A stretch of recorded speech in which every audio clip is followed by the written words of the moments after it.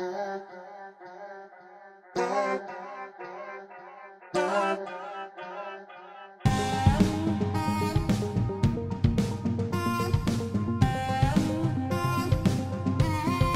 вещи, которые ненавидит ваш, ваш мозг. Четыре месяца назад и э, здесь у нас один и один миллион просмотров. Вы знаете, мне просто интересно, я сейчас так для себя посмотрю и вам поясню, что это такое. 86 миллиардов. Это количество клеток в вашем мозге. Без сомнений. Ну и чё? Чё, 86 миллиардов, и чё, и, и чё? Да она может быть больше, она может быть меньше. Что? Что этими клетками сказано? Мозг контролирует ваше тело. Логично, что стоит тратить на заботу о мозге большую часть своего времени, но... Да не о мозге. Мозг это, знаете, вот опять-таки, вот, вот, вот это вот железяка. Вот, допустим, телефон это железяка. Но все, что остальное он делает, это программы. А программы у нас, они в сознании. То есть мы должны контролировать не вот эту вот субстанцию жировую, а мы должны контролировать свое собственное сознание. Но мы почему-то этого не делаем. Да. Фактически, большинство даже не думает, что мозг нуждается в уходе и заботе. В то же время, наш современный образ жизни разрушает наши нейронные связи, делая нас медленнее, тупее и менее креативными. Ах, слова, слова, слова. Слова, слова, слова. Ну, как, как, как будто бы, знаете, вот от вот состояния, ну, я не хочу сказать, что состояние, то есть за э, тем, чтобы ткань мозговая была э, в нормальном состоянии, то есть, чтобы она питалась, вовремя выходили все эти отработанные вещества. Опять-таки, кто должен следить? Он будет следить за нами или наше сознание? Которые понимают, что, слушай, вообще-то за организмом надо следить, надо его питать, надо его так профилактически очищать, надо давать там какую-то нагрузку, надо еще что-то делать. А не то, что нейронные связи, нейронные связи, нейронные связи. И вот это вот, как говорится... И есть несколько причин, которые так негативно влияют на ваш мозг. Первое – бездействие. Современный мир создан для бездействия. Работа, отдых, общение – все в одном месте – даже продукты может заказать домой и вообще почти не двигаться. Пора всем нам понять простой факт. Движение – это хорошо. Оно высвобождает эндорфины, которые помогают нам чувствовать себя лучше, поддерживают здоровье сердца и улучшают работу мозга. Ой, вот знаете, мне не хочется дальше смотреть. Вот, вот загрузить, загрузить. Что такое движение? Человек создан, вернее его организм создан для того, что он нормально себя чувствует, нормально развивается, нормально себя чувствует, нормально работает во время движения. То есть мы для этого наш организм сделан.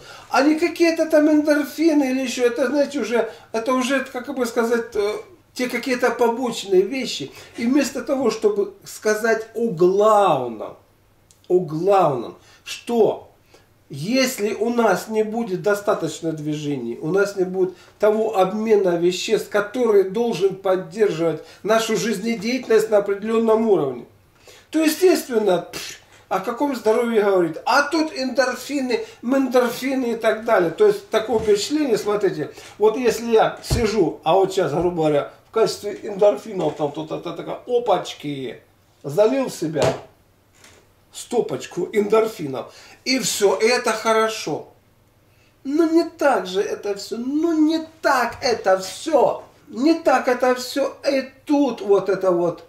Так, кстати, опыт X 1 миллион 430 подписчиков. Ё-моё. Против моей 31 тысячи. Я просто не знаю. Просто не знаю. Вы хотите это самое. Обманываться, быть обманутыми и жить в обмане. Чрезмерное сидение во время работы уменьшает кровопоток, а когда мы печатаем на компьютере, то задерживаем дыхание. Вы даже можете сами обратить на это внимание. Это приводит к понижению содержания кислорода в организме и, как следствие, нечеткости мышления, устал. Ой, ой, ой, ой, ой, ой, ой, ой, вот это ж надо же это вот так вот связать, знаете, вот. снижению кислорода в организме. Лично я на 68-м году жизни не э, чувствую снижения, вот я вот тут сижу, допустим, э, несколько часов, снижение кислорода в организме. Ну такая туфта, то есть вот какие-то, знаете, вот, э, как бы сказать, вот когда я работал на телевидении, там редактора, редактора набрали там молодых людей, которые там после института, некоторые даже и, и, и, и в институте не были. И вот они там что-то ищут, что-то это, и как-то надо там связать, сделать. И вот эту, вот, знаете, кашу эту всю вываливают, и все. И все хлебают, хлебают, хлебают. Для того, чтобы голова работала, голова работала, надо давать ей работу. Причем мозгу, мозгу просто-напросто, именно если говорить о, как бы сказать, о, о мозге, его просто-напросто надо снабжать хорошо кровью, промывать. Это вся задача. Чистые сосуды, а там дальше все само сделать. А вот что касается сознания, это совсем другая задача. Здесь надо и стишки учить какие-то, и сочинять, и что-то делать, и так далее. То есть работать именно сознанием, не мозгом. Мозг это вот это вот эта субстанция вот, э, жировая, состоит из воды и жира. Из воды и жира она состоит э, потому, что это наиболее лучшая субстанция для съема информации информации. Информация, энергетика лучше всего осаждается на водные и жироподобные структуры. Вот для этого нужен и мозг. Вот стихотворение. Простое. Пусть вам мечтаются красивые идеи, пусть мысли исцеления окружат Пусть будут в сердце вашем устремления, которые до Бога долетят, и пусть от них сгорает скверно, счастливей сложится судьба, пусть очищается пространство для лучшей жизни здесь и навсегда. Чувствуете, энергетика. Это совсем другая работа, которая должна проводиться со своим сознанием, э, для того, чтобы оно работало, чтобы оно было настроено на, на работу с окружающим. Ой, ой, ой, ой, ой, ой. Области плохой концентрации внимания. Концентрация как внимания. это исправить? Все, что вам нужно, это 20-30 минут активного движения или 7-10 тысяч шагов в день. Все, от великих изобретателей, таких как Никола Тесла и Чарльз Дарвин, до самых занятых руководителей, таких как Джек Дорси или Цукерберг, все они поклонники пеших прогулок. Ну, прогулки это одно, прогулки это несколько одно. Вот я когда там гулял, сколько у меня там видосов. Как правило, во время прогулки здесь желательно не с телефоном там общаться, а общаться с природой. Чувствовать ее. Мы не чувствуем ни природы, мы не чувствуем, что мы находимся э, в нескольких мирах одновременно. В физическом там, грубо говоря, как говорят, астральном, потом ментальном, потом там эмоционально, потом там еще там каком-нибудь там и так далее, и так далее. Все более тонком, тонком и тонком. Где в конце концов обитают идеи, где там, допустим, законы, где новые там э, какие-то разработки и так далее, которые Тесла умудрялся брать. Умудрялся Тесла брать. А мы не можем взять. А чем он лучше нас? Вот чем лучше Тесла нас, который просто-напросто эти идеи только хопа брал и изобретал. И теперь мы пользуемся его переменным током. А мы что-то вот... Второй разрушитель мозга – слишком много информации. Количество информации, с которой мы сталкиваемся в среднем за день, невероятное. Согласно отчету Калифорнийского университета о, пошло, пошло, поехало. Согласно отчета калифорнийского, да, да, да, да, да, да, да, да, да, да, да, да, да, да, да. Для жизни нам, вот просто для жизни, нам нужна одна информация. Нам нужно умение воспользоваться этой информацией. Это одно. А когда лишь бы, лишь бы чем-то, знаете, вот этот самое, загрузиться – лишь бы чем-то отвлечься. Это, и это происходит из-за того, что мы пытаемся излишней информации отвлечься от обычной жизни, потому что мы не можем дать применение своему собственному сознанию. Мы можем с помощью сознания творить чудеса. Именно творить. Мы творцы. А нам дают жвачку, чтобы мы ничего не творили. И поэтому вот эта функция творения у нас атрофируется.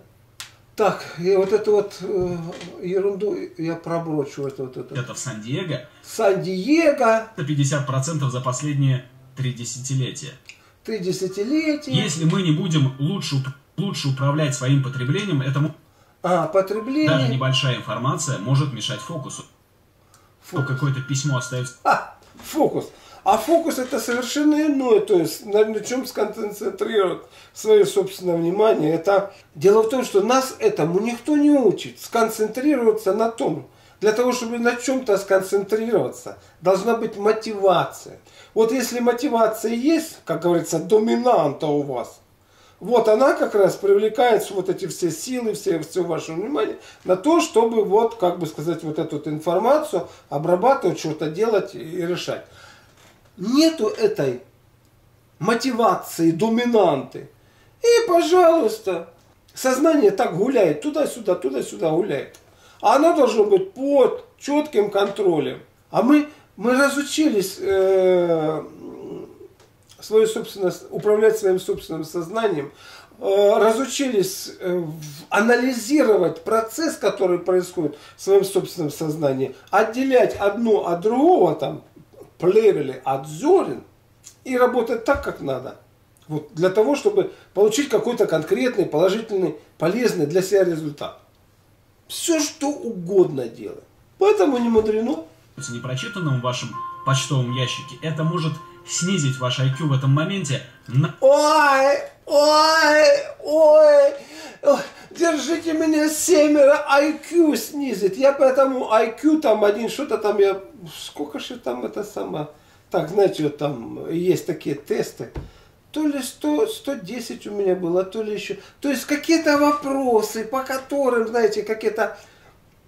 Ну, я бы сказал, что они от балды эти вопросы. Но они на самом деле не отражают истинной, как бы сказать, разумности, истинной творческой части, истинной изобретательности человеческого ума. Я в школе троечник был, а вернее на два с плюсом где-то там учился. Для меня было главное это то, чтобы а, а, учиться так, чтобы родители в школу не вызывали. То, что мне нравилось, я знал на 4, на 5. То, что мне не нравилось, на два с половиной и на три с минусом. Примерно так. Не, отлич, не отвечает вот этот вот IQ, который вот это вот, знаете, вот вдалбливает молодому поколению, что это твоя разумность и так далее. Это все равно, что, знаете, вот человек, который вот быстренько сворачивает вот этот вот шарик кубик Рубика, да, это, это хорошая, это, так сказать, способность. Но это э, не значит, что он там э, что-то изобретет и так далее. Опять-таки вернемся, грубо говоря, вот если уж мы так э, разбираемся в этом деле. Тесла, Никола Тесла, он что там этот кубик вертел? Да этого кубика там не было. Он пользовался, очень интересно пользовался своим собственным умом, умея входить в такие информационные потоки, там, банки и так далее, где лежала информация, он просто ее брал и воплощал, брал и воплощал. А это IQ, IQ. Ну попробуйте хотя бы какие-то стихотворения там сочинять, для того, чтобы вы, вы почувствовали, как должно работать сознание. Вы попробуйте, э, вот у меня там программка, э, там, GarageBand, я там музыку сочиняю там немножко гараж бенд, там в лоджике, ну сейчас даже тут на планшете. Вот почувствовать, какие звуки с какими сочетаются, какие ритмы, э, допустим, э, вот вы первоначально э, сделали там, или взяли уже готовые эти ритмы, и какие инструменты надо добавить к ним, опять-таки звуки добавить, чтобы у вас получилась мелодия. Ну вот попробуйте сделать. Вот это совсем другое. А это они тут сидят, вот показано, сидит от, за компьютером. Ну что, за компьютером. Придаток к компьютеру, который что-то кто там должен нажать. На 10 пунктов. Ой! Используйте инструменты Ой. и процессы, чтобы минимизировать количество контента, который вы потребляете ежедневно. Вот смотрите, Выключите все свои оповещения. Да, тут часы тут показывают, часы, у меня тут часы. Эти часы, кстати, любое устройство электрическое на вашем теле, оно сразу же э, искажает ауру, так сказать, ауру вашего организма и уже ему вредит. И тут вот контент, вот для того, чтобы вы общались полноценно с окружающим пространством, а тем более с разумными творческими силами, вы должны понимать до последней буквы, что вы ему говорите, какой вопрос вы задаете. Контент у меня, я понимаю, что контент это вроде бы это самое там видео, какая-то там э, информация. Вот, вот, вот так вот я примерно понимаю, потому что я вижу, вот у меня написано моя студия, э, это самое, ютубовская, и написано контент, контент, я вижу, что это мои видео идут. То есть то, что я, я создал эти видео. Вот видите, как, какая это самая, как бы сказать, разъяснительная работа, что такое контент. Я прежде всего должен себе в своем сознании. Я русский человек – у меня, можно так сказать, вот э, мое сознание э, заточено на общение русским языком, где, где должны быть понятные мне э, слова, фразы и, и, и вопросы, которые я хочу задать и так далее. И там тоже так же. И чем яснее у вас это все в голове образуется, какой-то вопрос или еще, тем, э, будем говорить, легче вам дадут оттуда ответ. А если вот этот контент-контент, вот это как вот нам э, засорили, это уже, это уже мусор, который э, мешает нормальной работе нашего сознания. Мусор. И э, благодаря вот этому мусору, э, ну просто-напросто куча народа э, молодого, она стала совершенно неспособная к каким-то таким тонким, разумным вещам. Все по грубости. Путим, путим, путим, путим, цик, цик, цик, цик, и все. И все, дальше они ничего не идут. Из социальных сетей. Перестаньте серфить и вкладывайте время чтения длинных статей. Серфить, Они мерфить. помогают улучшить концентрацию вместо того, чтобы прыгать от одного твита к другому. Научитесь оставаться в тишине как можно чаще. Тишина успокаивает разум, тело и душу. Ну, тишина,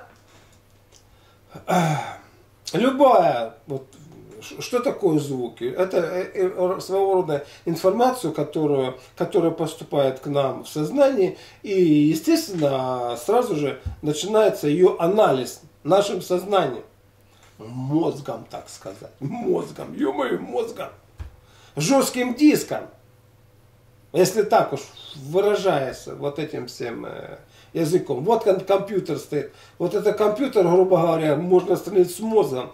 А все, что делается в нем, это сознание. Откуда ни возьмись, вот и загружается YouTube, откуда ни возьмись, там возникает еще какая-то программа, все это там-то такое. Но это ж не компьютер делает а делают программы на основании вот этого, будем говорить, железяки, вот, которая тут есть. Различайте мозг от сознания. Так, и тишина, тишина, тишина позволяет нам просто-напросто отключиться от эм, анализа поступающей информации. Третий разрушитель – многозадачность. Многозадачность убивает... Все, про многозадачность, и вот здесь я э, согласен. Смотрите, вот такая есть, э, как бы сказать, народная мудрость. Бабушка мне говорила, делай одно дело в один день. Это будет очень хорошо. И в итоге, если ты так будешь поступать, ты одно дело сделаешь очень хорошо. И в течение года ты сделаешь 365 дней для этих дел. Если ты будешь по три дела пытаться сделать э, в течение дня, и то, и все, и пятое, и десятое, толком, качественного у тебя ничего и не получится. И все это, знаете, как-то зависит с одного дня, переходя в другой день и так далее, так далее, так далее, так далее. Именно вот сосредоточенность на одном чем-то, на каком-то деле, позволяет его решить качественно. Это очень важно понимать. Не распыляется. Потому что дела частенько настолько они друг от друга отличные, что вот это и вот там, и вот там, и, и, и, и, и никак. Многозадачность, многозадачность, многозадачность. Ну-ка, что тут это такое? Что тут такое? Одно тут они... Это говорит, что сегодняшняя непрерывная многозадачность на самом деле тратит больше времени, чем... Многозадачность. Сверстникам при выполнении всевозможных так, многозадачность разобрали, я сразу пробрасываю тут. Памятью. Исследования также Ага, что тут за исследования? полезные задачи. Они не могут а ну -ка, ну на, в многозадачном режиме не могут отфильтровать бесполезные задачи. Возможных когнитивных задач и оказались куда менее полезны. Опять когнитивный, ё-моё, ё-моё, что вы делаете? И вот, вот в первую очередь, когда сыплют вам вот, вот такие неизвестные слова, над которых вы должны задуматься, над которых вы должны как-то для себя уяснить. Вот, это вот этот уже мусор вас отупляет. Отупляет, вы уже не можете в нем действительно ваше сознание полноценно работать. Потому что все это должно быть как-то сведено. Вообще, чем э, к более простым вещам сводит инфо, поступающую информацию в наше сознание, тем легче мы с ней работаем. Чем более она вот это вот э, в какой-то упаковке опутана, запутана и, и заделана –